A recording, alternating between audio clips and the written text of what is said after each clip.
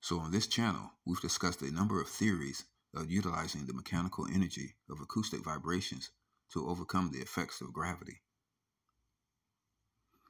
And in another series of videos, we discussed the potential of mechanical rotation to accomplish a similar goal via vortex lift. Vortex lift is a type of levitation which occurs from the direct action of rotation and centrifugal force on fluids and gases. Can the rotation of a heavy mass itself have some kind of direct interaction with gravity, which is independent of the vortices form, formed in fluids and gases, being able to levitate even in a vacuum?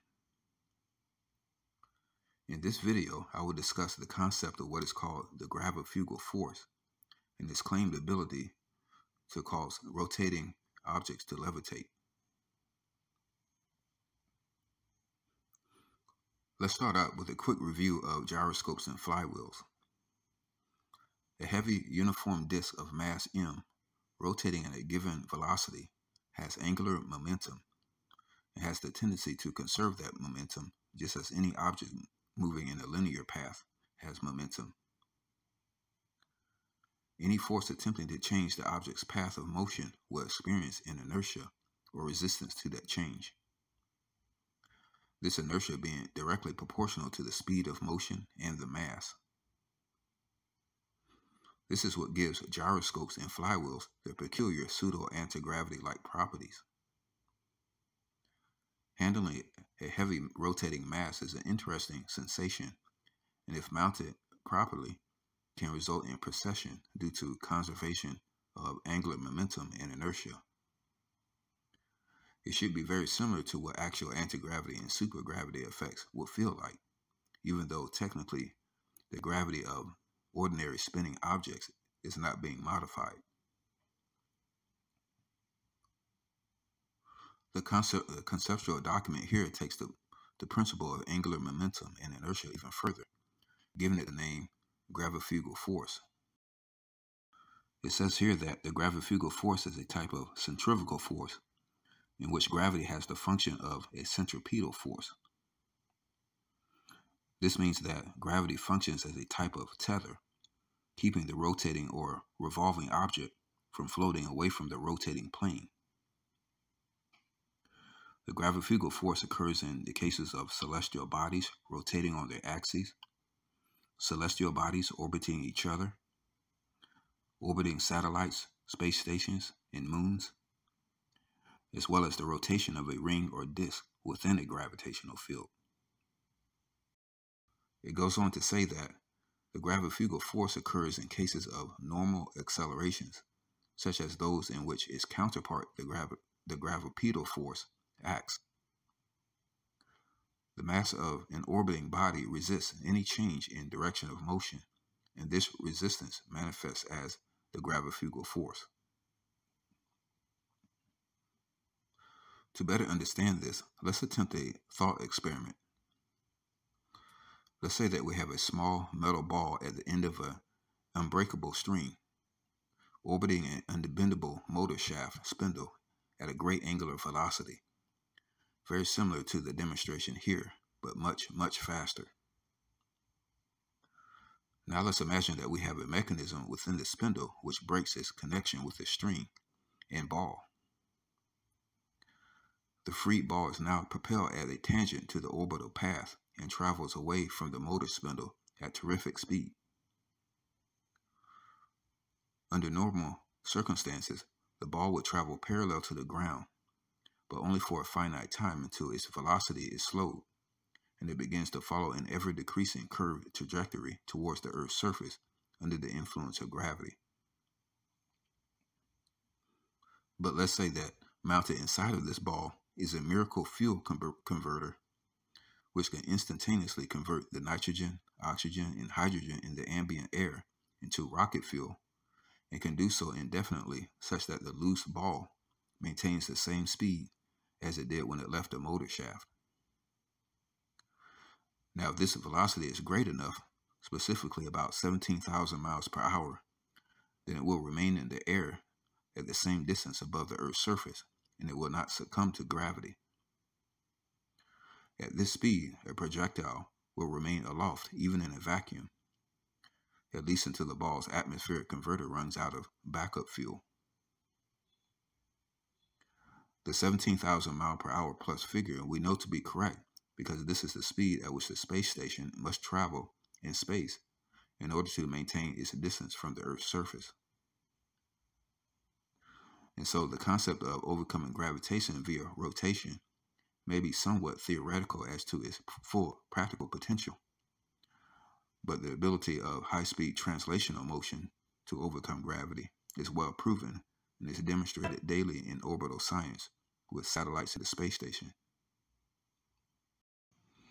Another way that we know that this 17,000 mile per hour figure is true is that the centrifugal force resulting from the Earth's rotation slightly counteracts the gravitational weight of an object, particularly at the equator, resulting in apparent weight decreases of that same object or person of about 0.4% compared to the weight of that same object at the Earth's poles where the centrifugal force is zero. The Earth's ground speed at the equator is about 1,000 miles per hour, speeding up the rotation of the Earth such that it completes a full revolution every one and a half hours rather than 24 would result in a ground speed 16 times faster at 16,000 miles per hour. So we see that this figure is close to the speed needed for the space station to remain airborne, or rather spaceborne. If the Earth rotated at that speed, the centrifugal force will overcome gravity and enable us to levitate just above the Earth's surface at what would essentially be low Earth orbit. So we can see that sufficient translational kinetic energy, if maintained at a constant value, can indeed overcome gravity. But let's go back to the metal ball projectile thought experiment. Let's say that we can travel fast enough to catch up to the projectile and match its translational speed take the string and reattach it to the motor shaft and convert its linear translational motion back into rotational motion without any energetic losses. The ball is now covering that same distance per unit time, but in a rotational path rather than a linear path. We can take an additional step and flatten the ball out into a homogeneous metal disc. We now have a disc rotating at tremendous speed. And so the question is, if we can rotate a disk or ring of a given dimension at sufficient speed, such that it covered the same distance per unit time as its ball form did translationally, then would it levitate in Earth's gravity? This centrifugal gravity concept is what is known in some circles as the Aford-defined gravifugal force. And it is one of the core principles of Otis T. Carr's flying saucer propulsion concept though as far as I can tell, Carr himself never used this particular term when explaining his ideas. He did, however, mention that the angular velocity of a disk needed to overcome gravity would be related to the disk's diameter, with higher velocities needed as diameters decrease and slower velocities as diameters increase. We will discuss Carr's proposed system in greater detail in a separate video, but I wanted to highlight some of the interesting things which can happen when we subject heavy masses to large amounts of kinetic energy. Overcoming gravity and even the origin of mass itself is all about energy, whether that energy is in translational, rotational, or even vibrational or oscillatory form. With translational energy, we can see how a fast moving satellite, or any object for that matter, has a type of inertia manifesting a resistance to any force or effect which will alter that motion, including gravity.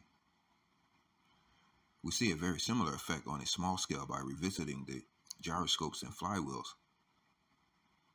Here I have a 15 inch diameter 7 pound flywheel mounted on a motor shaft and rotated at about 2,344 RPM, which converts to 46.88 meters per second.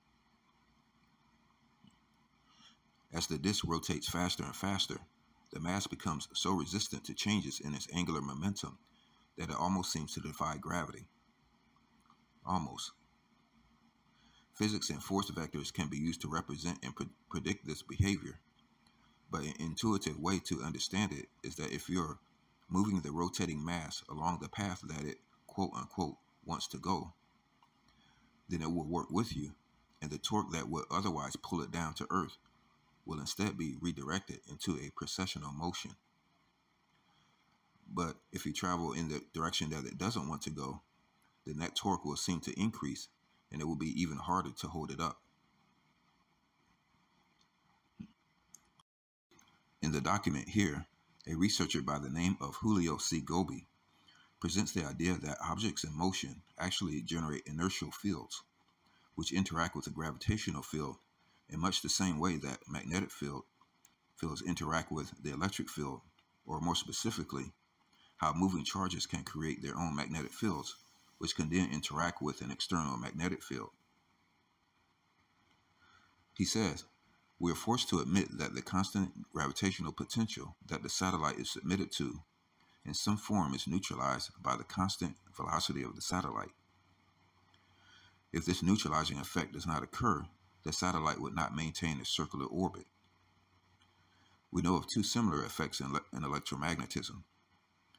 The Lorentz force in which a moving electric charge or electric current inside of a magnetic field suffers a force perpendicular to its trajectory and to the field, as well as the Faraday's induction, in which an electric current produces a magnetic field perpendicular to it, and a magnetic current can produce an electric field perpendicular to it. Considering the first effect, it is analogous to the Lorentz's force that occurs when electric charges tra travel with constant velocity inside of a magnetic field.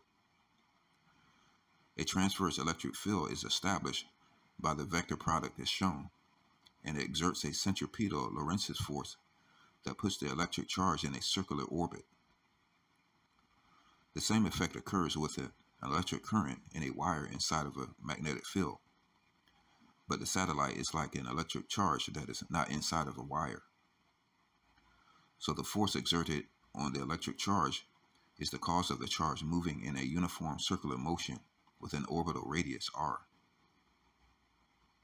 He explains further that these electromagnetic force and field equations are very similar to the gravitational force and field equations that determine the centripetal acceleration of a satellite in a circular orbit of radius r.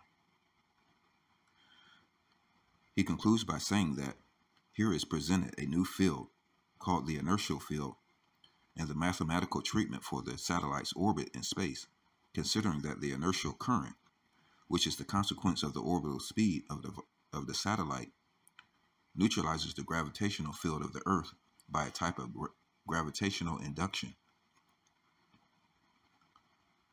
With this neutralization, it may be adopted a new interpretation for the gyroscopic effect that permits us to overcome gravity by spinning disks and rings in high rotation. So we can see that rotation can possibly generate a gravito-inertial propulsion via the gravifugal effect. And we can understand these concepts not just in terms of inertia and momentum, but also in terms of equations that are similar to those in which electromagnetism is represented and understood. And what about vibrating or oscillating masses? Here I have what I call a linear mass resonator. It consists of a cylindrical weight of about 3.865 pounds set atop of a compression spring. Magnets mounted on the bottom of the mass are stimulated by the solenoid at the spring's resonant frequency. What I notice in handling the device when it is energized is that it has a similar feeling to that of the rotating mass of a gyroscope or flywheel. But whereas the resistance to rotating masses are in the curved plane or a path, the inertial resistance of the vibrator man manifests in the linear plane. It is particularly noticeable when shaking it parallel to its axis. If I shake it in phase with its movements, then it is easier to handle but it feels heavier when my movements are out of phase with its own. Thus we might see how a heavy mass oscillating or vibrating might be momentarily easier to lift or shove if the external forces are in phase with its periodic motion. And so this all brings up an interesting question. What will happen if we greatly increase the amounts of energy in these inertial systems? Many experiments with gyroscopes and flywheels that I've seen rarely exceed the rotational velocity greater than 12,000 RPM. What if we multiplied the speed of the disk by a factor of 10 or even 100? This would be especially interesting as the kinetic energy of the system would increase by the square of that speed, which would be 110,000 respectively. Would we then begin to reach an energy level sufficient to read an actual reduction in weight or completely neutralize the weight of the rotating disk as previously claimed? And if a certain speed of a disk could completely counterbalance the effect of gravity to the point of neutrality, then would an even greater speed enable it to levitate and even carry a payload? This was just an introduction to the concept of the gravifugal effect. In a follow-up video, I will attempt to test this concept as theorized by Otis T. Carr using a rapidly rotating disk and a sensitive scale within a transparent testing chamber. A vacuum pump will be used to evacuate the chamber such that, unlike in the previous vortex lift videos, air will play no role in any achieved weight reduction or lift. Thanks for watching, and as always, stay tuned.